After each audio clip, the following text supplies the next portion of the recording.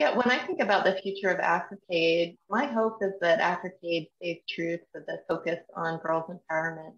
It's such an underfunded and uh, poorly understood area.